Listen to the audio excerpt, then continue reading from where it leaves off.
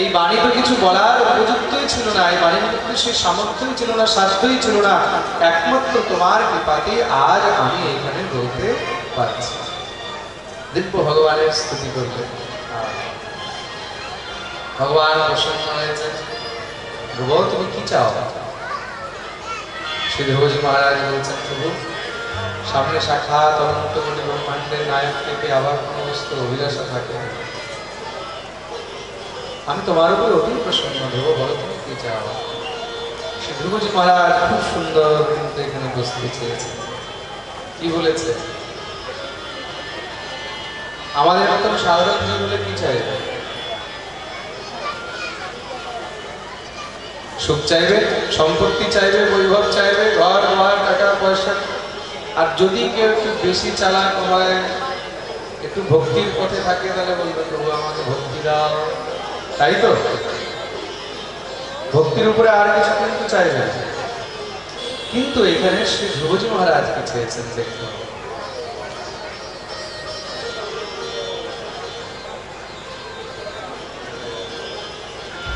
बोलो वृंदावन बिहारी लाल की जय। আমাদের মধ্যে অতি প্রিয় আমার অঞ্জনদা উপস্থিত হয়েছে আজ থেকে এক মাস না দেড় মাস আগে আমরা এক মঞ্চেই প্রোগ্রাম করেছি আসামে আমার ভাগবত পাঠ আর ওখানে দাদার কীর্তন খুব সুন্দর এখনো ইউটিউবের মধ্যে রয়েছে আপনারা দেখতে পাবেন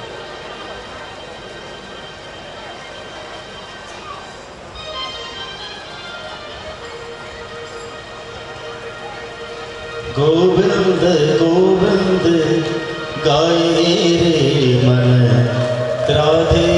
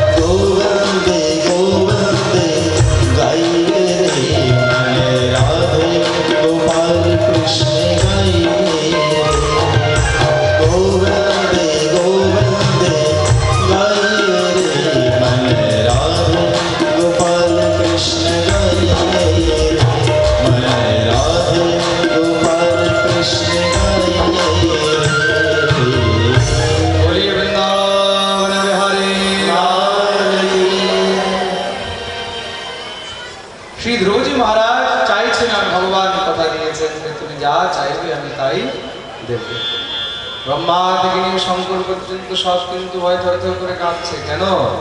না জানি কোন সময় কি চেয়ে নেয়। যদি ধ্রুব ব্রহ্মপদ চেয়ে নেয়, তাহলে তো ভগবান দিতে বাধ্য। যেহেতু ভগবান সেখানে কথা দিয়েছে। যদি ইন্দ্রপদ চেয়ে নেয়, কিন্তু সে ধ্রুবজি মহারাজ কি চেয়েছে ভক্তিম মোহ প্রবহতাম ত্বয়ি মে প্রসঙ্গ ভূয়া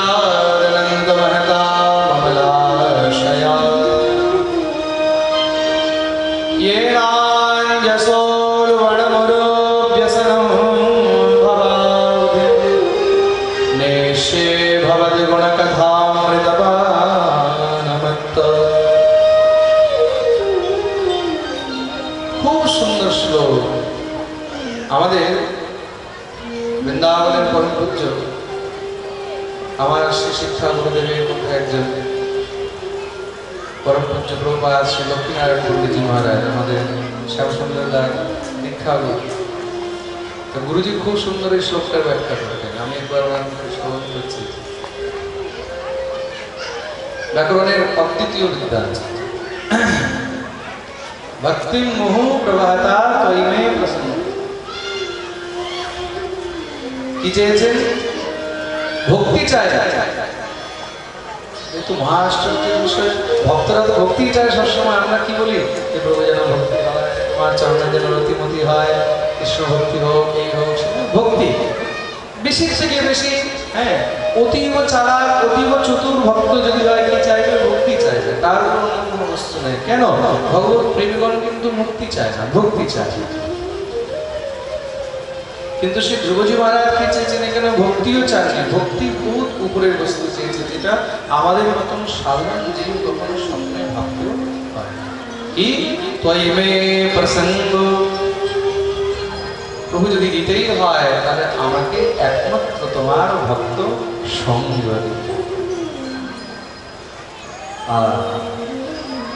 ভক্তি চাইনি ধ্রুব। ভক্ত সঙ্গ চেয়েছে কেন ভক্ত সঙ্গ দিয়ে কি হবে? বলে এই সংসারের মধ্যে ভক্তি যদি সুদৃঢ় রাখতে হয়, ভক্তি যদি স্থির রাখতে হয়, ভক্তি যদি অবিচল রাখতে হয় তাহলে একমাত্র ভক্ত সঙ্গ করতে হবে। ভক্ত সঙ্গ ছাড়া কখনো ভক্তি অবিচল থাকে না। আমাদের ভক্তিও কিন্তু অনেক নড়াচড়া খুব ভালো চলছে, খুব সুন্দর চলছে, সবকিছু ঠিক চলছে, একদম ঠান্ডা পানি, শরীর সুস্থ, সব ভালো চলছে। তার মানে খুব ঠাকুর ঠাকুর ঠাকুর। আর শরীর অসুস্থ হয়ে গেল। বিছানায় পড়ে গেলাম হসপিটাল যেতে হচ্ছে, কাজকর্ম ধান্দা সব বন্ধ হয়ে যাচ্ছে। তখন খুব পূজা পাঠ করেছে, এই করেছে, সেই করেছে, কি হলো? এই পেলাম, দুধ বন্ধ আসতে তাই তো হয়। যখনই একটু দুঃখ আসলো, যখনই কষ্ট আসলো, যখনই অসুবিধা আসলো যখনই কোনো দুঃখ আসলো, কষ্ট আসলো, যখনই কোনো দুঃখ আসলো, কষ্ট আসলো, যখনই কোনো আমাদের জীবনের মধ্যে বিপত্তি আসলো সব থেকে আগে আঘাতটা কোথায় হয়? সব থেকে আগে আঘাতটা হয় ভগবত ভক্তি যতই সমস্যা হোক, যতই কিছু হোক, আমাদের অন্য জিনিস কম হচ্ছে না, খাওয়াটা কমছে না, ঘুমানোটা কমছে না। বাইরের কাজ কমছে না, মানুষের সঙ্গে কথাবার্তা কমছে না ফেসবুক কমছে না। কমছে কি? সব থেকে আগে ঠাকুরের ভজনটা কমে যাচ্ছে সময় নেই, আজকে তাড়াহুড়ো আছে, এই আছে, সেই আছে, বলে কি? ঠিক আছে, ষোলো মালা করেছিলাম, আজকে ষোলো করতে পারছি না, দশ নামিয়ে আজকে দশও করতে পারছি না, পাঁচ নামিয়ে দাও সব থেকে আগে আঘাতটা কোথায় হয়? ভক্তির মধ্যে। কেন? কেন কি আমাদের ভক্তি একদম নড়তে থাকে, জায়গায় স্থির নেই। আমরা হলাম স্বার্থবাদী ভক্ত। উই আর সেলফিশ ডিভোটি যদি আমরা কোনো লাভ পাচ্ছি না, তখন ধরুন কিসের ভক্তি ভক্ত যদি লাভ হচ্ছে, তাহলে হ্যাঁ হ্যাঁ হ্যাঁ। তাহলে সব ঠিক আছে। তার জন্য শ্রী গুরুজি মহারাজ এখানে কি চেয়েছেন? ভূয়াদনন্ত মহতা মমলাশয়া ভক্তি যেন স্থির থাকে জন্য সবসময় ভক্ত সঙ্গ যেন করতে পারি। যেহেতু অনেক সময় যখন আমাদের ভক্তি নড়াচড়া হওয়া শুরু হয়, তখন যদি সেখানে আমরা কোনো সৎ ভক্তের সঙ্গ পাই, তখন সেই ভক্ত উপদেশ করিয়া আমাদের সেই ভক্তিকে একদম স্থির করে রাখে। এ তো হতেই থাকে। তোমার জীবনে কি কষ্ট আছে? যদি কষ্ট দেখতে হয়, তাহলে এক থেকে এক ভগবত ভক্তদের জীবন দেখতে হবে। ভগবত ভক্তরা বড় থেকে বড় কষ্টের মধ্যে একমাত্র ভক্ত সঙ্গ দিয়ে, সাধু সঙ্গ দিয়ে, বৈষ্ণব সঙ্গ দিয়ে তারা কিন্তু সেই সব দুঃখ কষ্টগুলোকে একদম এড়িয়ে চলতে এক ভক্ত ছিল মহারাষ্ট্রের নাম ছিল তুকারাম। তুকারাম যে পরম ভক্ত দিনরাত ভগবানের ভজন করে, ভগবানের সেবা করে, ভগবত কীর্তন করে, আর তার স্ত্রী, সে স্ত্রী হচ্ছে মহাকুটিলা। কথায় কথায় সবসময় খালি তাকে টানা দেয়া সবসময় খালি তাকে তাড়ন ভৎসন করা কোন ভক্ত ঘরের মধ্যে আসলে তার সঙ্গে ঝগড়াঝাটি করা কেউ গিয়ে জিজ্ঞাসা করছে तो कराम जी एक बात बताइए बोले क्या आपकी पत्नी इतनी कर्कश है इतनी कुटिल वाणी है ऐसा कुटिल स्वभाव है आपका भजन में मन कैसे लगता है श्री तुकाराम जी बोलते। ये भगवान की बहुत बड़ी कृपा है। अगर ये मीठा बोलती, हमसे ज़्यादा प्रेम करती तो भगवान को छोड़ के हम इससे प्रेम करने लग गए होते। जब जब ये हमको गाली देती है, जब जब ये हमार हमसे झगड़ा करती है, तब तब भगवान से हमारा प्रेम और ज़्यादा बढ़ जाता है। प्रेम से बोलो राधे तो जो भक्त है, वो हर परिस्थिति में अपने आप को अनुकूल बना लेता है, प्रतिकूल नहीं बना तो जीवन में प्रतिकूलता बहुत आएगी, लेकिन अगर भक्त संग होगा साधु संग होगा तो वो प्रतिकूलता भी अनुकूलता में बदल जाएगी प्रेम से बोलो, राधे। बोलो ना। बोलो ना।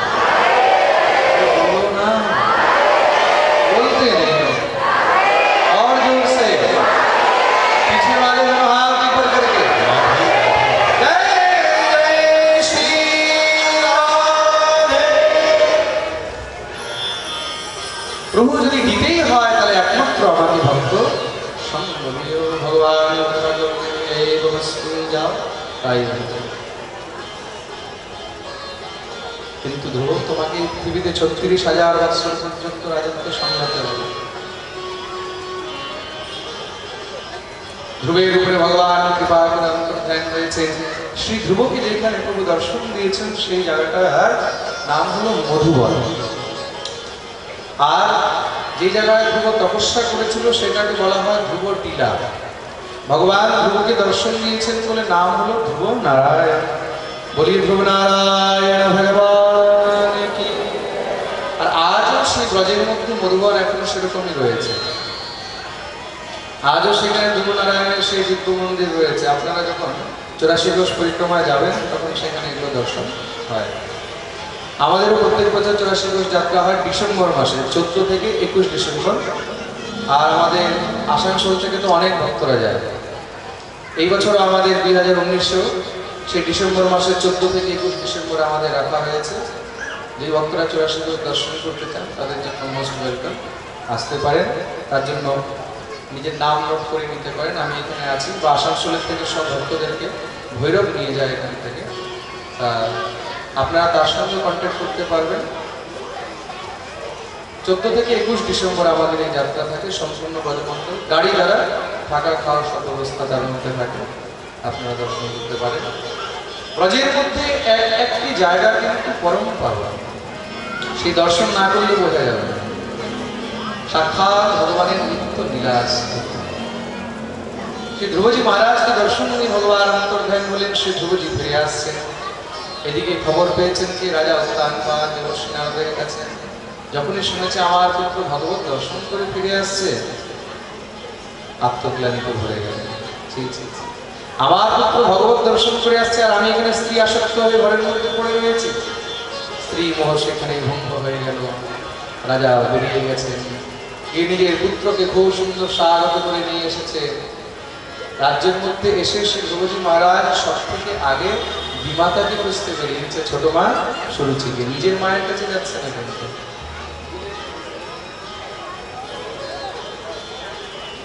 এদিকে কি হয়েছে? বিমাতা সুরুচি সে নিজেকে লুকিয়ে রেখেছে। ধ্রুবের সামনে কি করে আসবে? ধ্রুবকে তো সেই ঘর থেকে দাঁড়িয়েছিল কিন্তু শ্রী ধ্রুবজি মহারাজ সব থেকে আগে খুঁজে নিজের বিমাতাকে বার করলেন। দৌড়ে গিয়ে তার চরণে সেখানে প্রণাম করেছে। সূর্যের নয়ন থেকে করে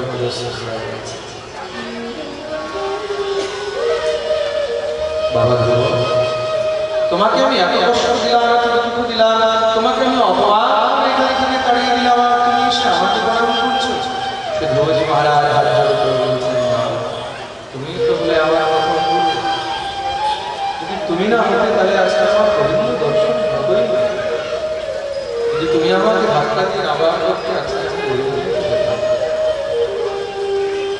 মন দিয়ে এই সংসারে কেউ যদি আমাদেরকে ধাক্কা দিয়ে ভগবানের কাছে পাঠায়, কেউ যদি আমাদেরকে গাড়ি দিয়েও ঠাকুরের কাছে পাঠায়, কেউ যদি আমাদেরকে কষ্ট দিয়েও গোবিন্দের কাছে পাঠায়, এই সংসারের সে কিন্তু আমাদের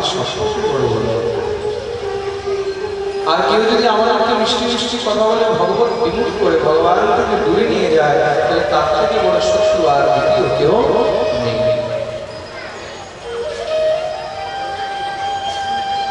শ্রী মহারাজ, ভগবত প্রাপ্ত করে এসেছেন।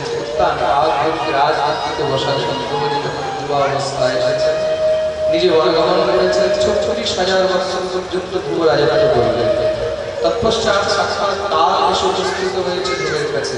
সে ধ্রুবজি মহারাজ বলছেন, কি ব্যাপার? কি চাও? প্রভু, আপনাকে যেতে হবে।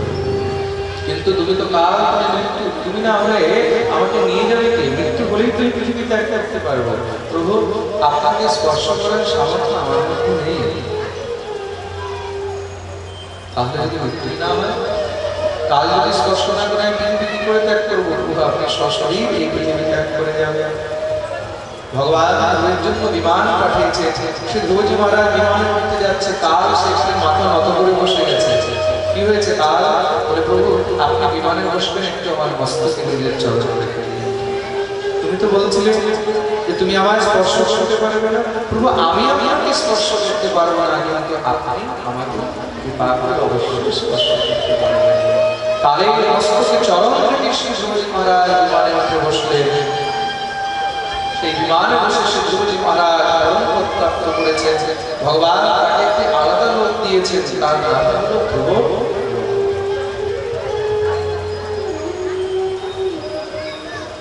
আর আজ আকাশ গঙ্গার উত্তর দিশায় যে সংস্কৃত উচ্চলঙ্কা তারাটা দেখতে পাই, তার নাম হলো ধ্রুব।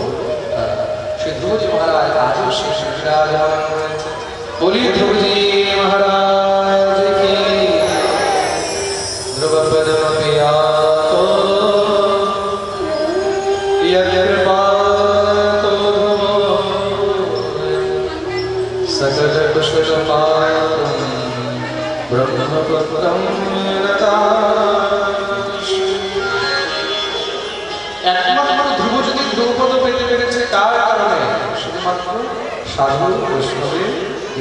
কৃপায় যদি নারদের কৃপা না হতো তাহলে কৃপা আছে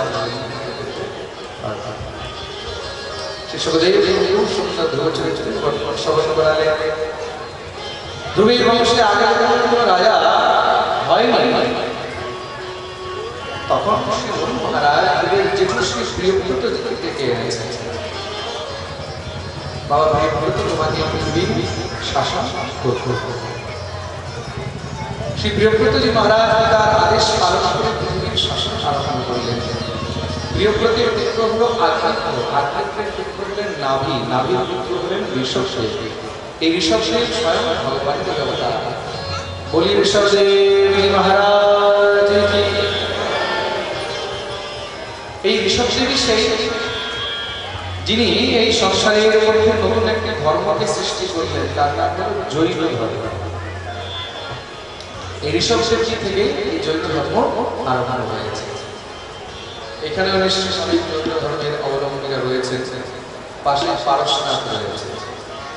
জৈন ধর্মাবলম্বী তাদের বিশাল সেখানে স্থান। সেই ঋষভদেবজির একশোটি পুত্র হলো। একশোটি পুত্রের মধ্যে সব থেকে বড় পুত্রের নাম হলো ভরত। আর সব থেকে ছোট যে নয়টি পুত্র, তাদের নাম হলো কবি, অন্তরিক্ষ, প্রবুদ্ধ বিপুলায়ন আবির্বুদ্ধ রবি চমৎকার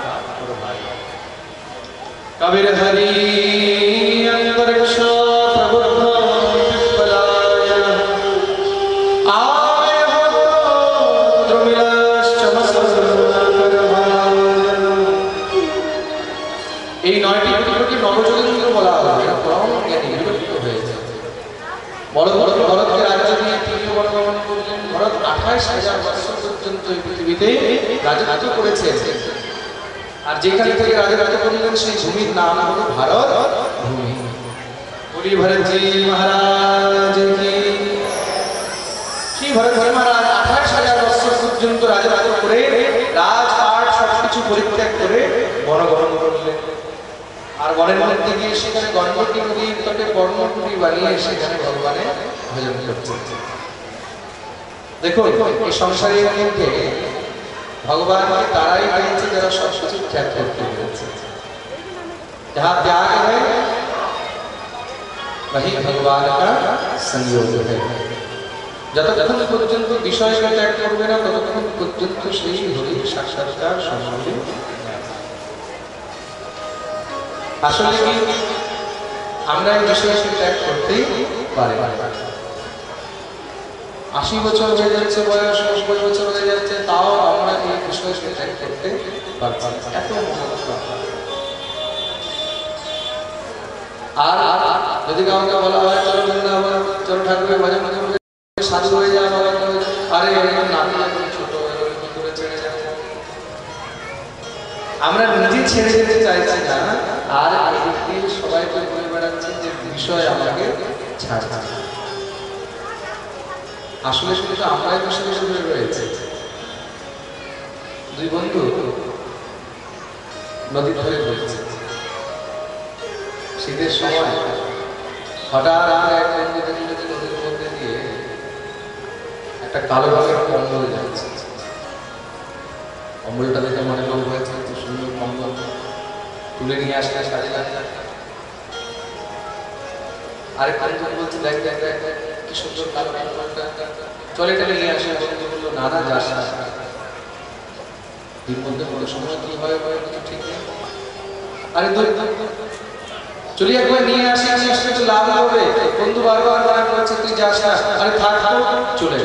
নদীতে লাল সাদা ধরেছে আসলে সে কম্বল না সে ভালো ছিল। কোন গ্রহ জলের মধ্যে পড়ে গেছে। সেই গভীর জল আর এখন যে ডুবছে, যে জলের বয়ে চলে যাচ্ছে, সে যদি কোনো সাহারা পায় তাহলে কি আর ছাড়বে? সে তো একদম ভালো করে ধরে নিয়েছে যখন ধরেছে একবার কম্বল জলের ভিতরে, একবার জলের ভিতরে, একবার কম্বল করে একবার বন্ধ করে এদিক দিয়ে। সেই দ্বিতীয় বন্ধু জোরে চিল্লাচ্ছে, আরে ভাই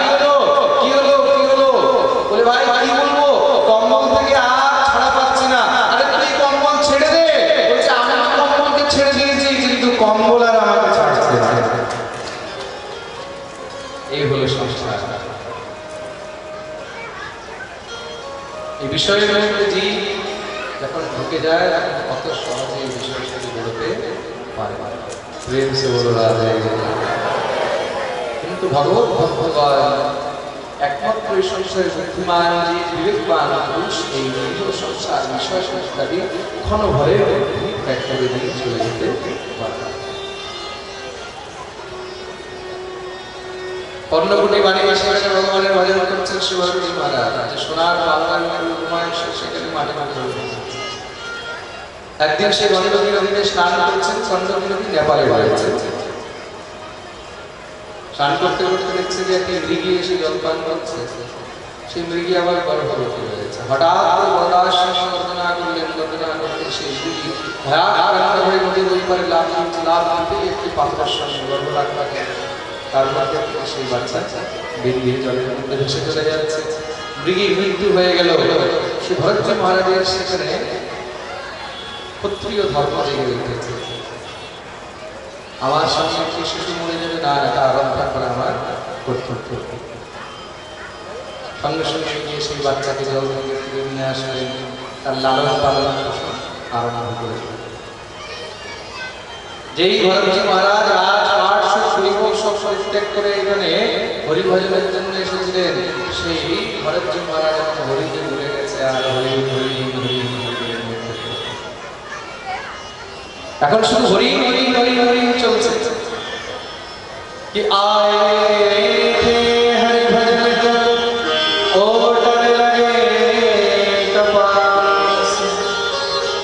এসেছিল হরিভজন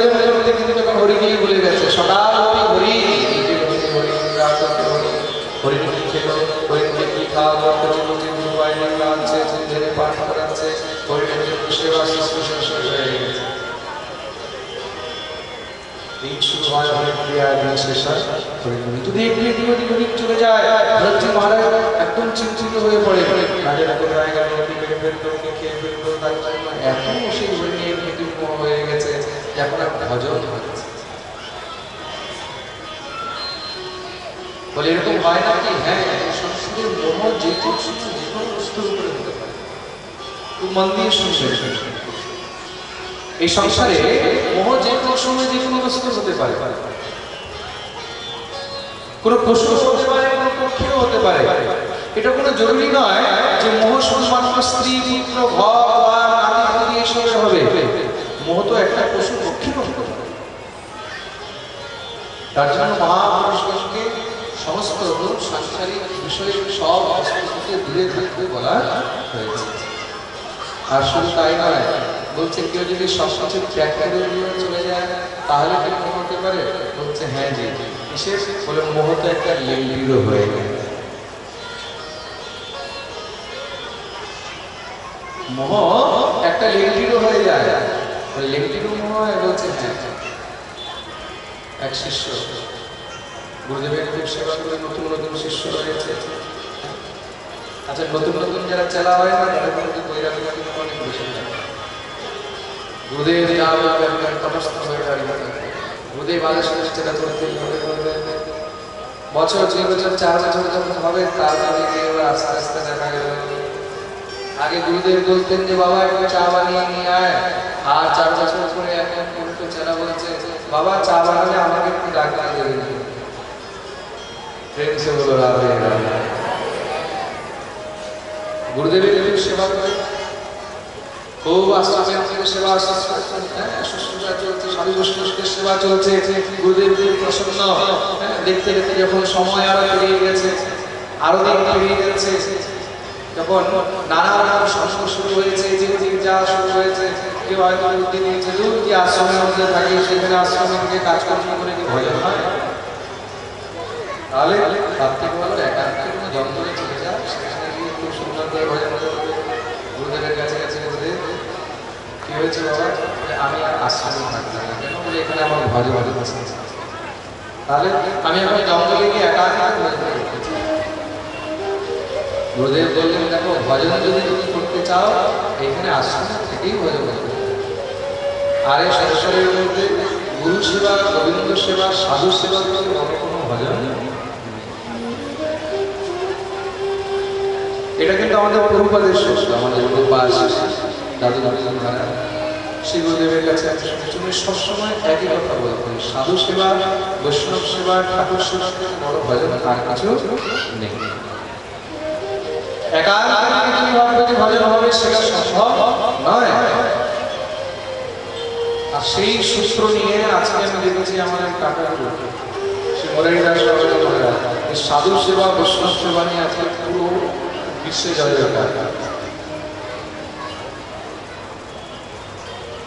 সেবার কথা। না না, বাবা, আমার এখানে ভজন হবে না, আমি একান্ত ভজন করতে চাই। ঠিক আছে যদি তুমি একান্ত ভজন করতে চাও কারণ আর তোমাকে বাধা দিয়ে লাভ নেই। কিন্তু বাবা সামলিয়ে থাকবে। কোনো জিনিস, কোনো বস্তু সংগ্রহ করবে না, কেন? সংগ্রহ করলে কিন্তু তার প্রতি মোহ হয়ে। জঙ্গলে থাকবে, একান্ত নিরিবিলি স্থানে বর্ণগুলি বানিয়ে থাকবে, বা বৃক্ষ নিচে থাকবে, কোনো বস্তুর কোনো সঞ্চয় চলবে না। যা খেতে হবে মাদুগুলি করে আনবে সঙ্গে সঙ্গে সেই প্রসাদ খেয়ে একদম পরিষ্কার কেন? সংগ্রহ করলে, সঞ্চয় করলে দুঃখ হবে, মোহ হবে তার হবে হ্যাঁ করবে আমি তো কোনো বস্তু নিয়ে যাচ্ছি। কাঁথা, কম্বল পর্যন্ত আমি নিয়ে যাব। গুরুদেব দেখলেন বাবা খুব সুন্দর, খুব ভালো বিরক্তি গুরুদেব, এই বাস একটা কমন্ডল আর এই করে যাচ্ছে। এক লেঙ্গি করে আর এক লেঙ্গি কাঁধের মধ্যে নিয়ে চলছে। এরকম বৈরাগ্য, কীরকম বিরক্ত? খালি একটা লেঙ্গি করে বেরিয়ে গেছে। একটা লেঙ্গি পড়েছে আর একটা লেঙ্গি কাঁধের মধ্যে নিয়ে বেরিয়ে গেছে। গুরুদেব বললেন সন্ধ্যাবেলা এদিকে গায়ে হ্যাঁ গুরুজি, মনে রাখবে, মোহ কিন্তু কখনো কখনো লেঙ্গিরও হয়ে যায়। গুরুদেব লেঙ্গির কি আর মোহ হয়? বলে দেখো বাবা এ সংসারের মোহ যে কোনো বস্তু হতে পারে। গুরুদেব, আপনি চিন্তা করেন না। চলে গেছে ছেলে গিয়ে একা একা জঙ্গলের মধ্যে সেখানে বন্য বানিয়ে ভজন করে। দিনের বেলা যার পাশে পাশে আমি মাধুরী করে নিয়ে আসে। ওই মাধুরী রুটি প্রসাদ করিয়ে নেয়, ভজন চলছে। আহা কি কঠোর তপস্যা শরীরে একটি বস্ত্র পর্যন্ত নেই। শুধু খালি একটি লেঙ্গি পরে থাকে। একদিন কি হয়েছে ওই লেঙ্গিটা কুড়িয়ার মধ্যে একজন হয়েছিল? সেখানে কোথাও থেকে কোন ইঁদুর এসে লেঙ্গিটাকে কেটে দিয়েছে। যখনই ইঁদুর এসে লেঙ্গি কেটেছে সকালবেলা করে লেঙ্গি করতে গেছে, দেখছে লেঙ্গি তো একটা জায়গায় জায়গায় ইঁদুর কেটে দিয়েছে আচ্ছা দেখো, যেখানে মানুষ না, সেখানে কেউ থাকবে না। মানুষ থাকবে সেখানে আস্তে আস্তে সব আশ্বাসন হয়ে যায়। দেখছ, এখানে কিছু নেই। দেখবে যখন মানুষ থাকছে, তখন মশা, মাছি সব একদম আস্তে আস্তে হয়ে যায় ইঁদুর দিয়েছে এখন মাঝখানে চিন্তায় পড়ে গেছে দুটি ছিল একটি করতাম রেখে দিতাম এখন তো এটাও সম্ভব নয়। ছেঁড়া করে কি হবে? চলে গেলেন পাশে গ্রামে ভিক্ষা করে একটুখানি কাপড়ের টুকরো নিয়ে যেরকম করে হোক দিন তো কাটাতে হবে। কিন্তু মনে মনে ভাবলো, এই লেঙ্গি তো আবার কামড়িয়ে দেবে। আবার কেটে দেবে লেঙ্গি নষ্ট করবে একটা কাজ করি রোজ রোজ ইঁদুরের ঝঞ্ঝট থেকে যদি বাঁচতে একটা বিড়াল বিড়াল থাকলে কি হবে? বলে আর ঢুকবে না। চারটা রুটি করে আনি চারটা জায়গায় পাঁচটা নিয়ে আসব, একটা বিড়ালকে খাইয়ে দেবো গ্রামের থেকে একটা বিড়াল উঠে নিয়ে এসেছে করে আর বিড়াল থাকে, আর সে এখন বিড়াল থেকে আর ইঁদুর আসে না। খুব সুন্দর এখন আনন্দ হয়ে গেছে। এখন কোনো চিন্তা নেই, কিন্তু নতুন চিন্তা শুরু হয়ে গেছে। কিসের ওই যে বিড়াল, সেই বিড়ালের জন্য এখন খাবার আনতে আগে চারটা রুটিতে কাজ হয়ে যায় কিন্তু এখন চারটা জায়গায় ছটা রুটি আবার বিড়ালের জন্য দুধও আনতে হবে কিন্তু বিড়াল আস্তে আস্তে এসেছে। মাস, দুই মাস, পাঁচ মাস ছয় মাস পেরিয়েছে বিড়াল একা থাকবে? এখন সে ছিল আবার মেয়ে বিড়াল, মেয়ে বিড়ালকে দেখে কিছু ছেলে বিড়ালগুলো চলে আসে। দেখতে দেখতে এবার মহারাজের দুনিয়ার মধ্যে ছোট ছোট পাঁচ, ছটা আরও বিড়াল বেড়ে গেছে। এখন আরও ছোট বিড়াল বেড়ে গেছে, সংসার তো বেড়ে গেছে কি ফেলে দেবে? এখন ওদের জন্য আবার ছয়টা রুটিতে যে কাজ হচ্ছিল এখন দশটা রুটি লাগছে আগে দুইশো গ্রাম দুধ যদি চেয়ে আনতে যাচ্ছিল এখন এক কেজি দুধ হচ্ছে। সেই বিড়ালের সংসার এমন বেড়ে গেছে। ওদেরকে ছাড়তে পারছে না, কি করবে, কি করে তাড়াবে কি কি করবে। গ্রামের মধ্যে যায়, এখন কোনো গ্রামবাসী বলে দিয়েছে, মহারাজ, রোজ রোজ এত করে রোজ রোজ এগুলো ভালো লাগে? তাহলে একটা কাজ করুন, আমরা একটা গোদান করে দিচ্ছি। একটা গরু দিয়ে দিচ্ছি। আপনার কুড়িয়ার মধ্যে গরু থাকবে খুব দুধ পাবে যখন মন হবে নিজেও খাবে বিড়াল বলে কথাটা তো ঠিকই বলেছে ঠিক আছে। একজন ভক্ত একটা গরু দান করে দিল। একটা গরু চলে আসে।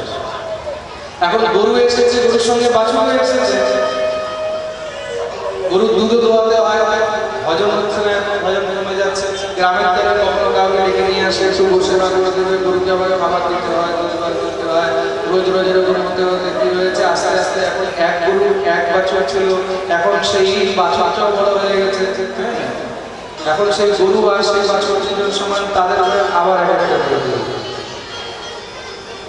এখন দুইয়ের জায়গায় চার। এখন একলা মানুষ কষ্ট করে সেবা করবে কিছু ভক্তজন ডেকে নিয়ে আসে, কাউকে ডেকে নিয়ে আসে সেবা করে। একজন বলল, মহারাজ রোজ তাকে আমি ডেকে নিয়ে আসব। কীভাবে কি করবেন? এইভাবে কি সেবা হয়? তাহলে ওরা একটা কাজ করবে কি? বলে পারমানেন্ট একটা সেবার ব্যবস্থা করে তাহলে কি করতে হবে? বলে, আমাদের গ্রামের ভালো ব্রাহ্মণের মেয়েদেরকে আমরা বিয়ে দিয়ে দিচ্ছি। ঘরের মধ্যে গুরু মাতা চলে আসবে ভালো করে সেবা হবে। এখন তো ভাবছে কথাটা তো ঠিক রোজ রোজ কাকে ডেকে নিয়ে আসব ঘরে। ঠিকই আছে, যাই হোক। খুব সুন্দর ধুমধাম করে বিয়ে দেওয়া হয়ে গেল আমার। ঘরের মধ্যে এখন গুরুমাও চলে এসেছে।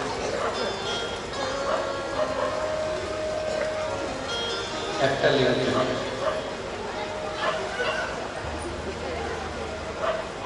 এখন গুরুমা যখন করে এসছে, তাহলে কি আর ঘরটা খালি থাকবে? দেখতে দেখতে ঘরের মধ্যে এখন ছোট ছোট গুরুজিও বেড়ে গেছে। আস্তে আস্তে গুরুজি আরও দাঁড়িয়ে গেল প্রত্যেক বছর একটা একটা করে গুরুজি আরও বাড়ছে দেখতে দেখতে চার পাঁচটা গুরুজি ঘরের মধ্যে হয়ে গেছে, এক এক কাঁধের উপরে এক এক মাথার উপরে, এক এক উপরে, এক এক কোলের উপরে। সেই কি অবস্থা? একদিন তার মধ্যে ঘুরতে ঘুরতে পরিপূর্ণা সেই গ্রামের মধ্যে এসে উপস্থিত হয়েছে কালকে দেখতে এসেছিলেন ভাই, এখানে কোনো ঘর আছে? তাহলে আমরা রাত্রে বিশ্রাম করব।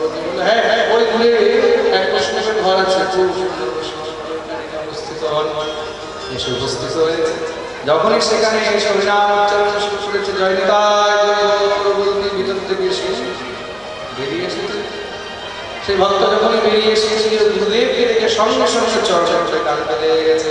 গুরুদেব বলছে, তুমি কাঁদছো কেন? কি হয়েছে বাবা? তোমার কি হয়েছে? গুরুদেবের দিকে তাকিয়ে এসে কাঁদছে কোনো উত্তর বেরোচ্ছে না। গুরুদেব বললেন, তোমাকে কিছু চেনা চেনা মনে হচ্ছে, তোমায় কিছু দেখা দেখা মনে হচ্ছে? গুরুদেব, আমি আপনার শিষ্য। কোন শিষ্য? কে তুমি? গুরুদেব, ওই যে লেংটি নিয়ে বেরিয়েছিলাম। তুমি একটা লেংটি নিয়ে বেরিয়েছিলে, আর এই সমস্ত এগুলো কি? বলে, গুরুদেব, এই সব হলো ওই লেংটির সংসার।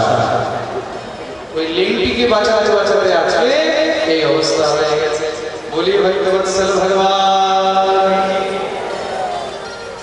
সংসারের মধ্যে মোহ যে কোনো সময় যে কোনো বস্তুর হতে পারে। একদিন সেই হরিমন্দ হরিমন্দের সঙ্গে দলে মিলে চলে যাচ্ছে, শ্রী হরিমন্দ মহারাজ পুজো বেড়াচ্ছে হরিনাথ নেই, সকাল মানে সন্ধ্যা হয়ে হরিণ আসছে না। তার বিয়োগে কান্তি লেগে গেছে খাওয়া দাওয়া আন্দোলন সব শেষ করে নিয়েছে আর হরিণের চিন্তায় হরি হরি হরি হরি করতে করতে দেখা দেখা করলেন। তাতে কি হলো? শাস্ত্র বলছে অন্তে মতি, সৌগতি। জীব অনন্ত সময় যেই এই বস্তুর চিন্তন করে দেহ ত্যাগ করে, তাকে সেই গতিতেই জন্ম গ্রহণ করিতে হরিণের চিন্তন করতে করতে দেখা ত্যাগ করলেন তার জন্য, সেই ভরতজি মহারাজকে হরিণের জমিতে জন্মগ্রহণ করতে হলো কিন্তু ভজনের অভাবে পূর্বজন্মের পরিস্থিতি ছিল, মনে মনে চার ভুল করেছে। ভগবানকে বারবার ডাকছেন, প্রভুর কাছে প্রার্থনা করছে, প্রভু, আবার আমি আর মনুষ্য জন্ম পাই, তাহলে এইবার আর বিষয়ের মধ্যে কখনো প্রবেশ করব না। একমাত্র তোমার ভজন করে আমি এই জন্ম মৃত্যু চক্র থেকে মুক্ত হয়ে হয়ে যাই সেই বিচার করে, সেই জীবনজীবীর মধ্যে তিনি অন্ন জল সব ত্যাগ করে নিজের দেহ ত্যাগ করেছে পুনরায় আবার এইবার মনুষ্য জন্ম হয়েছে, আর সেই মনুষ্যের মধ্যে উচ্চ কুল ব্রাহ্মণ কুলে তার জন্ম ব্রাহ্মণ কুলে জন্ম হয়েছে, এই জন্মেও তার নাম রাখা হলো ভরত। পাঁচ বছর অবস্থা হয়েছে, উপরে সংসার করা হলো। পিতা সে মন্ত্র এক বছর মুখস্থ করে শোনাতে পারবে।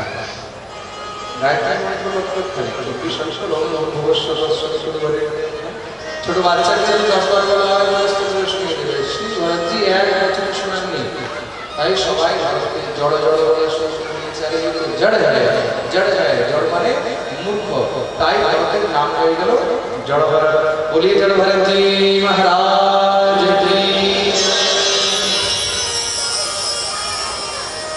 দেখতে দেখতে সেই ভরতজি মহারাজ বড় হচ্ছেন সবাই জন ভরত বলে বলছে, ভরতকে খারাপ লাগে না সবাই আচ্ছা আপনাকে যদি কেউ বলে "এ মূর্খ তখন কীরকম লাগবে ঝগড়া শুরু হয়ে কিন্তু ভরতজিকে যে মূর্খ বলছে, জড় বলছে? ভরতজিকে কি কোনো কষ্ট হয় না দুঃখ হয় না বলছে না একদম না। কেন? কেন কি ভরতজি নিজেই চায় যে সবাই আমাকে জড় বলবে ভরতজি জেনে বুঝে করছে।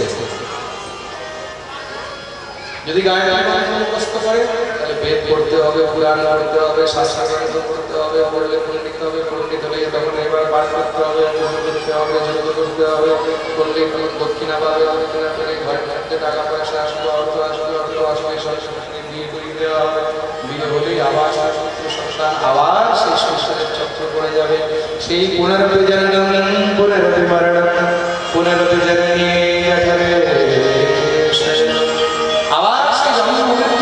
সংসার বিষয় চক্রের মধ্যে পড়ে যেতে হবে না তার থেকে বলে সবাই যদি এইটা বুঝে যায় যে এটা মূর্খ তাহলে না কেউ কোনো কাজের জন্য বলবে আর না বলা হবে সংসারে যারা ভগবত ভক্ত হয় না তারা মূর্খ হয় না দেখতে তাদেরকে মনে হয় খুব সোজা কিন্তু আসলে তারা পরম চতুর হয় কিসে ভগবত ভক্তি বলা হয়েছে না যেই জন কৃষ্ণ ভজে সে চতুর ভগবত ভক্ত পরম চতুর হইয়া থাকে সেই ভগবান মহারাজ বসতেছে চলছে কার সঙ্গে কোনো মতলব নেই খেতে দিয়ে ঠিক আছে না দিলে કોઈ বাত না জঙ্গলে বসে ভজন করছে একে জঙ্গলের মধ্যে কোন দিন রাজা কোনো মনুষ্যের বলি দেওয়া হয় নরক দেওয়া হয় হঠাৎ করে সে কোনো কারণে সেখান থেকে পালিয়ে গেছে এইবার তো সেই রাজার সিপাহীরা ভয় পেয়ে গেছে যদি কাউকে না পাওয়া যায়, রাজা আমাদের মধ্যে তিনি কাউকে বুঝতে পেরে গেছে ধরতে বললে সে ভরতজি মহারাজ পেয়ে গেছে জঙ্গলে মহারাজ কীর্তন করছেন। শ্রীরাম জয় রাম, জয় জয় দৌড়ে এসে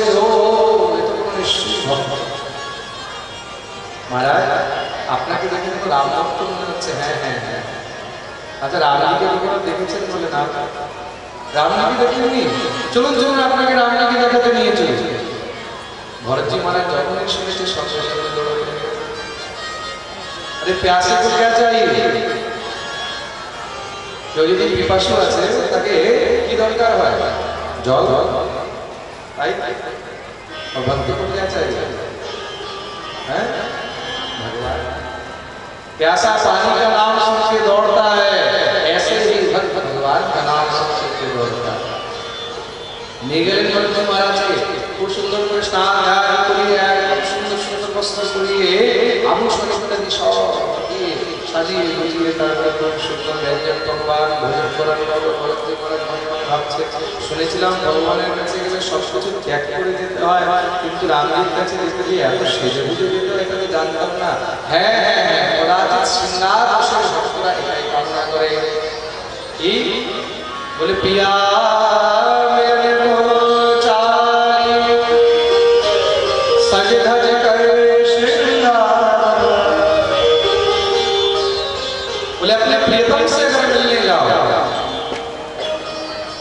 अपने प्रेमी से मिलने जाओ तो उस समय सज धज करके जाना चाहिए राम कौन है राम तो हमारे प्रियतम है राम तो हमारे प्रेमी है कृष्ण हमारे प्रेमी है तो अपने प्रियतम से मिलने जाओ तो सज धज करके जाना चाहिए আমি তো সাজুগুজি করতে পারি না তার জন্য মনে হয় ওটা সাজুগুজি যাচ্ছে খুব সুন্দর চললেও মা ভদ্রকালীর শ্বাসে নিয়ে যখন দাঁড়িয়ে আছে মা ভদ্রকালীকে দেখেছে, তার পাশে জঙ্গলার হাতে খড়গ নিয়ে দাঁড়িয়ে রয়েছে উঠে গেলেন ও এ তো রামজিকে দেখাবার জন্য নয়, সোজা রামজির কাছে পাঠাবার জন্য নিয়ে হাত জোর করে এসে মা ভগবতী ভদ্রকালীকে প্রণাম করলেন। শরণা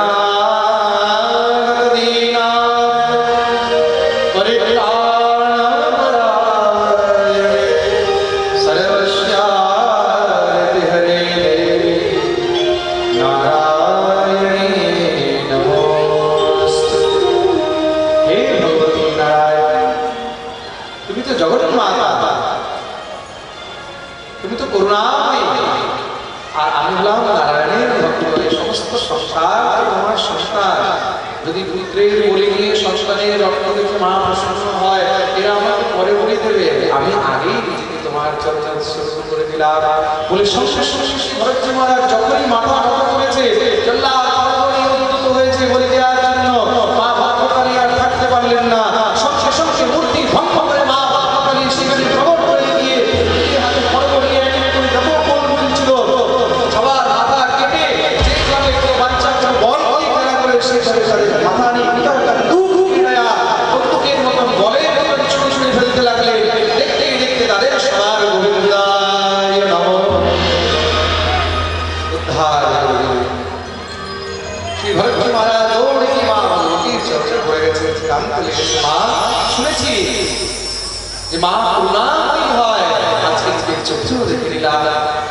মা ভদ্রকালী ভরতন করে ভাগবান ঘর এই সংসারে কোনো মা এরকম হতে পারে যে সন্তানের বলি সন্তানের রক্ত কোনো আনন্দ পায় আমার সামনে যখন কোনো জীবকে বলি দেওয়া হয়, তখন আমি ক্রোধে তাদের অভিশাপ দিই? যেইভাবে তুমি আমার সামনে একটি জীবকে নির্মম হত্যা করেছ, এইভাবে তার শরীরে যত রোগ রয়েছে, যাবৎ পশু রোমাণী, তাবৎ সকারিচ তার শরীরে যত রোগ রয়েছে যেন তোমাকে এইভাবে ভোগ করতে হয় আমি কখনো কারোর বলি দেখে প্রসন্ন হই না। আর তোমার মতো নারায়ণের ভক্তের বলি দেখে আমি কখনো প্রসন্ন হতে পারি? মা ভগবতী ভদ্রকালী কৃপায় ভক্ত ধ্যান বলে বলি ভদ্রকালী মাইয়া। কি শ্রী ভরত মহারাজ আজকে গোবিন্দের কৃপায় সাক্ষাৎ? দর্শন ভগবত কৃপায় সম্ভব আজকে গোবিন্দের ভক্ত হওয়ার কারণে কৃষ্ণ ভক্ত হওয়ার কারণে তার যার উপরে ভগবানের রয়েছে। যার উপরে কৃপার উপরে আশ্রয় রয়েছে। এই সংসারে তার কে করতে পারবে গোস্বামী তুলসীদাস জি তুলসী সীতারাম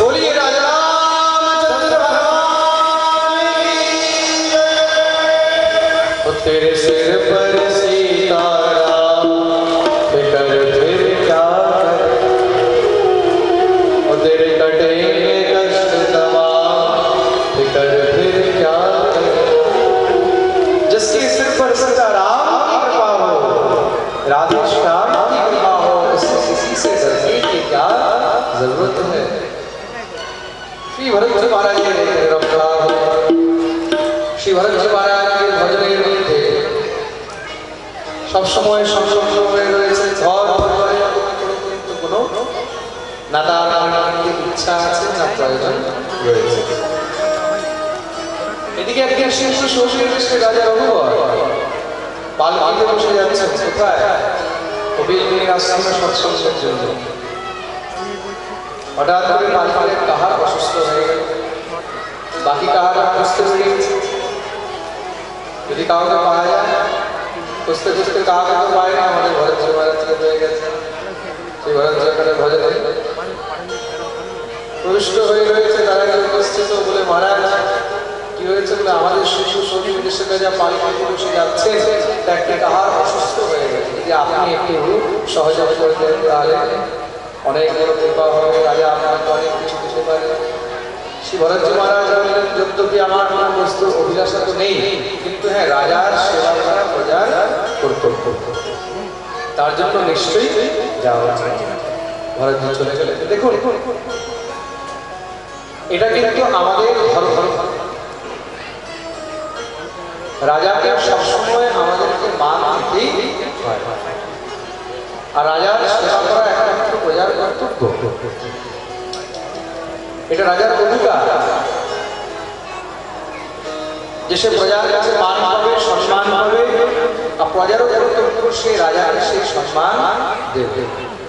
কিন্তু কেউ যদি বলে যে, রাজাকে আমি রাজা মানি না তা বললে কি সম্ভব? কখনো সম্ভব নয়। সূর্য উঠেছে আর আমি যদি চোখ বন্ধ করে বলি যে না এবার অন্ধকার হয়েছে সেটা সম্ভব সূর্য উঠেছে মানে মানতে হবে যে সূর্য উদিত হয়েছে দেশে যদি প্রধানমন্ত্রী হয়েছে আর আমি বলি আমি প্রধানমন্ত্রী প্রধানমন্ত্রী মানি না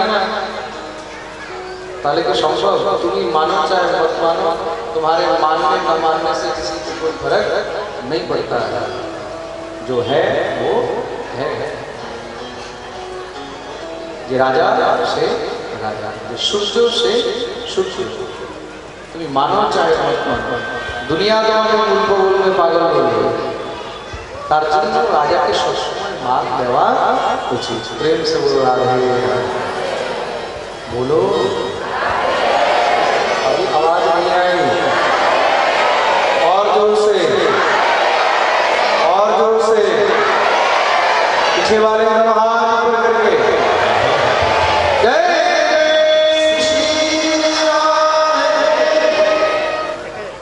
इसको मैं बार बार कहता हूँ नारायण का नाम लेने में कंजूसी मत किया करो। बाकी हर चीज़ में कंजूसी चल जाएगा, लेकिन भगवान के नाम में कंजूसी नहीं चलेगी। कितना का मीठा नाम है? एकदम मिश्री से भी मीठा नाम है, ऐसा लगता है मुँह में डाल के भर जाए। राधा राधा। अच्छा देखो देखो, विष्णु नाम नाम उन्होंने टेढ़ा बैठा बैठा विष्णु नाम नाम को उन्होंने टेढ़ा बैठा है? ব্যাকরণের দিকে তাকাতে গেলে কৃষ্ণ নামের মধ্যে কিন্তু অনেক জটিলতা রয়েছে। কৃষ্ণ কৃষ্ণ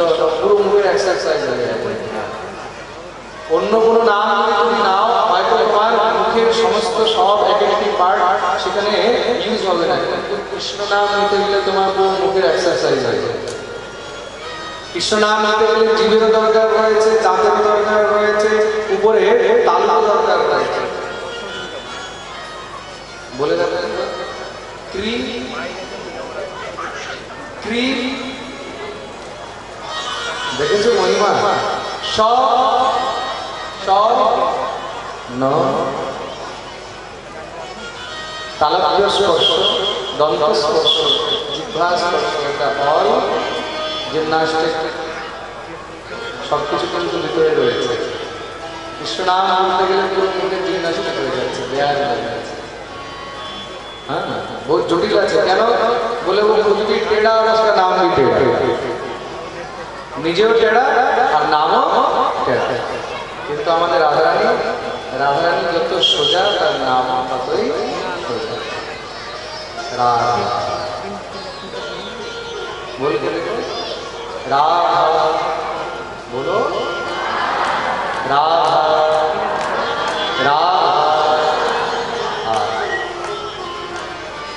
সরল, কত সহজ, কত সোজা যেরকম আমাদের রাধারানী একদম মিষ্টি না যখন গেলে তখন একদম মন আনন্দ যায়। বলি, রাধা জন্য রাধা বলা